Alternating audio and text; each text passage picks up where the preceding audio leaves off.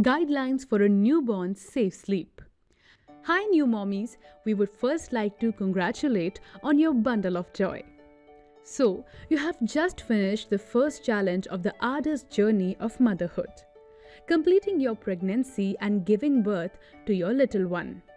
After all that work, you might want to just rest and enjoy some peace of mind.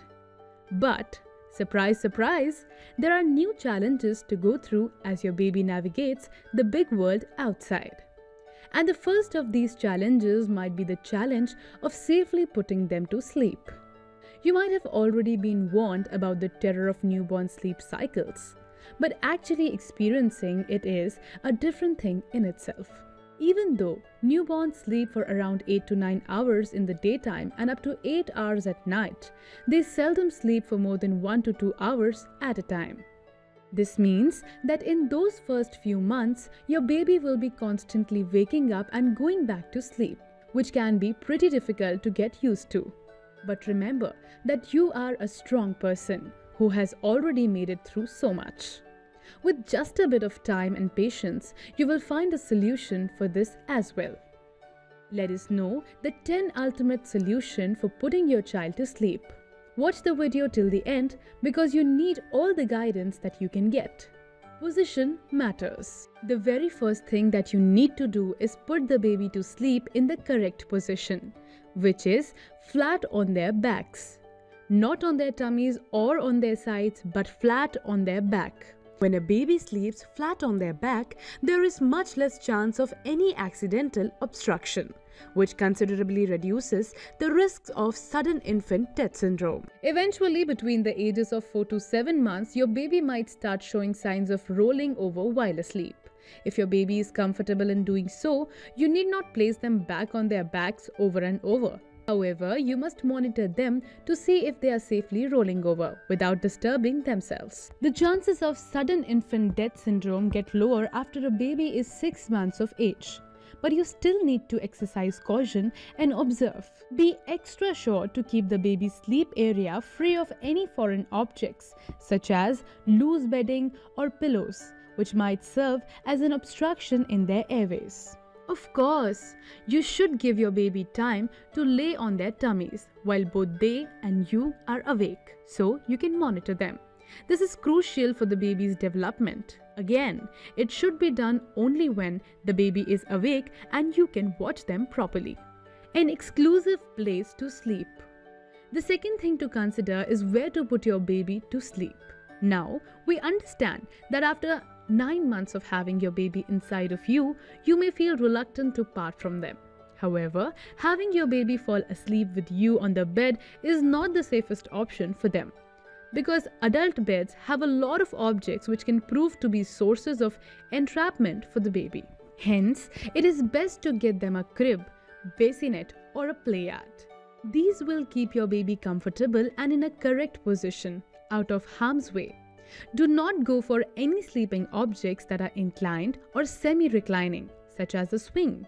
A sleeping space should always be stable, allowing your baby to properly lay flat on their back. And to keep your baby close to you, you can place these in your room so that you can check upon them every once in a while. It is important to get your baby used to sleep in their own space because this will help them deal with separation better later on. If you make it a habit for your baby to fall asleep in your arms, they might find it difficult to sleep separately afterwards. So, once you sense your baby getting drowsy, such as yawning or rubbing their eyes, lay them down in their space. What goes in your baby's sleep space? Of course, it's not just enough to make a comfortable sleeping space if you do not know what you should have inside it. Make sure to never put any pillows, loose bedding, blankets, toys, wedges, or positioners inside. You only need a firm mattress covered by a tight fitting sheet on top of which your baby will lie flat on their back. This is the safest way because there are no obstacles for the baby to knock into. Replicate the warm warmth with swaddling. You are allowed to wrap your baby in a sleep sack or a comfortable swaddle. This can resemble the warmth of a womb and help soothe the baby. However, if you do choose to swaddle the baby, you have to be extra sure to lay them on their back and monitor them to make sure that they do not roll over. Once they do start rolling over, the swaddling must be stopped. Be sure to follow the proper steps to swaddling and not wrap your baby too tight, as this can cause an uncomfortable increase in temperature. Also, make sure that the baby's hips are not tied too tightly straight down.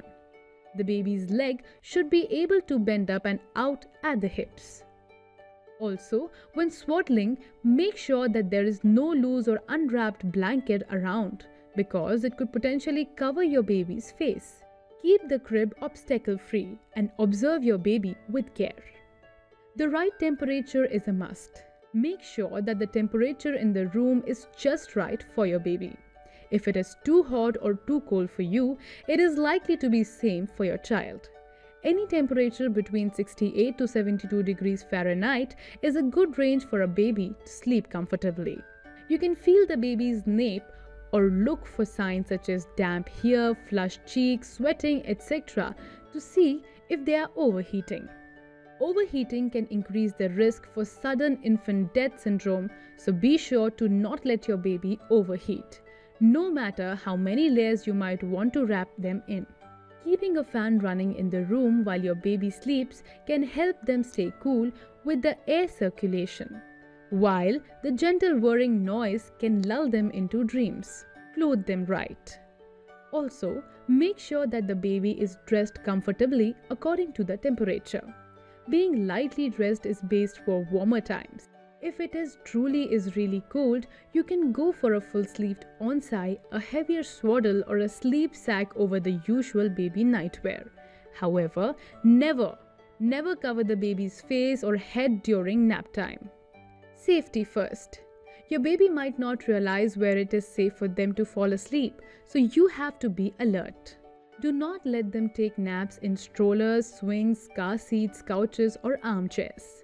It is always best to let them sleep in a firm sleeping space such as their bassinet, crib, or playard. Bedtime routine. It is good to establish a bedtime routine for your little one so that they can find it easier to settle down. You might have certain regular activities such as feeding, reading to them, listening to music together, singing lullabies, bathing, or goodnight kisses planned before they sleep. This way, they can be more prepared for sleep time. However, remember to keep things flexible. After all, a baby is not going to follow your timetables always. Use a pacifier.